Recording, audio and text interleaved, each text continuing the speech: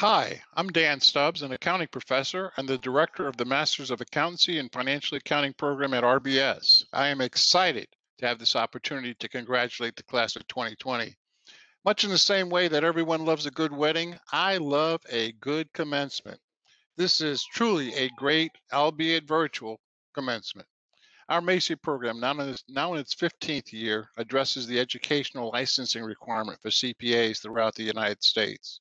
It typically involves an extremely concentrated, that is code for intense, two semester full time commitment. Our October grads average 3.9, with over 70% qualifying as beta gamma sigma invitees.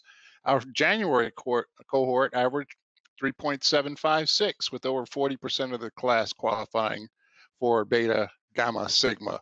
Our May grads, despite the COVID 19 challenges, averaged 3.6. A special shout out goes out to Mark D'Alessio, who kept his eye on the prize and completed the entire program with a 4.0 GPA. Nearly 10 years ago, we had the privilege of listening to Nobel laureate Toni Morrison address the Rutgers graduating class.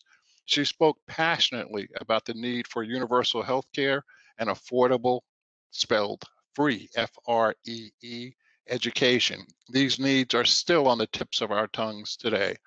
But to you, our graduates, I want to draw upon Dr. Morrison's words, which are even more true today. She said, This commencement marks the end of a definitive college experience. I emphasize that it's not an end, it's just a termination. She said it's time to start something new. She said it is time to enter new terrain and she said, It is time to launch a career begun here at Rutgers. All of these things still ring true 10 years later. My hat goes off to you. All the best of luck, best wishes, and happy success, successful professional careers. Thank you.